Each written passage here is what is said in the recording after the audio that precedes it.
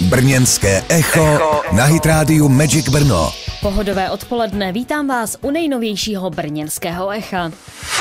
S dalším omezením musí až do poloviny září počítat cestující i řidiči v Brně. Důvodem je oprava tramvajových tratí na ulici Veveří v úseku křižovatek Šumavská a Rybkova. Pokračuje mluvčí dopravního podniku města Brna Linda Hejlichová. Je tento úsek v podstatě zjednokolejněn pro tramvaje. Jsou tam použity takzvané výhybky Kalifornian, které umožňují právě tu jednokolejnou eh, dopravu v tomto úseku. Bohužel toto místo je pro silniční dopravu uzavřeno, takže je potřeba tedy toto místo místo objíždět. To se týká i autobusové linky N92 a záložních spojů za tramvajové linky 3 a 11. Na místě se opravuje 530 metrů tratí a práce si vyžádají 9 milionů korun. Jedná se o jednu z posledních výluk letošních prázdnin. Brzy skončí výluka na ulici Vídeňské, končí také výluka vlaková. Konečně na konci srpna budou ukončeny práce na Staré osadě a vlastně také na Pálavském náměstí. Během školního roku už bude docházet docházet jen ke krátkodobým omezením.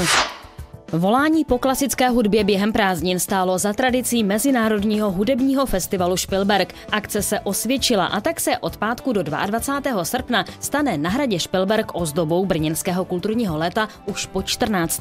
Festival nabídne hned na úvod skutečnou hudební lahůdku, prozradila ředitelka Filharmonie Brno Marie Kučerová. Opravdu mimořádný, myslím, že i dramaturgicky je zařazen co by podsta k jubileu paní profesorky Veselé, velké brněnské hudební osobnosti. Zazní slavné známé musorského obrázky z výstavy a Dvořákův čelový koncert s Jiřím Bartou. A chybět nebude ani připomínka dvoustého výročí narození Giuseppe Verdiho. Mezinárodní hudební festival Spielberg ale neláká jen na klasiku, i když je dlužno dodat, že ta dostává pod širým nebem zcela nový rozměr. Projekt, s kterým sklízíme úspěch taky po celé zemi, je to symfonická verze čtyřtetu Jiřího Korna. A závěrečné dva večery je muzikálový styl Jesus Christ Superstar, ve spolupráci s Městským divadlem Brno. Stupenky si mohou zájemci koupit v besedním domě nebo na internetu.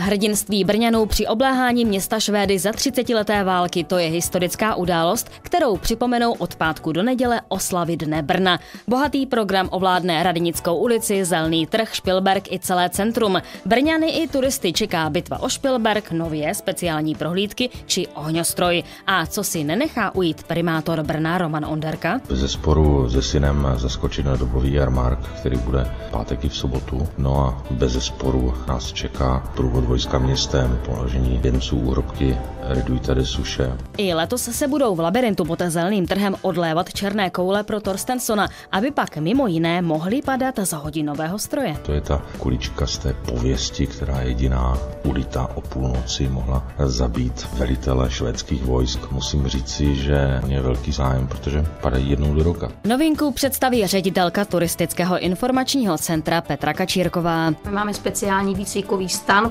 postavený na Moravském náměstí právě vlastně pro všechny, kteří budou chtít se vycvičit a připravit se k obraně města Brna. Oslavy vyvrcholí v neděli slavnostní mší v katedrále svatého Petra a Pavla. Další zajímavá témata nabídne Brněnské echo za týden. Brněnské echo, ale i další zajímavosti najdete na www.brno.cz.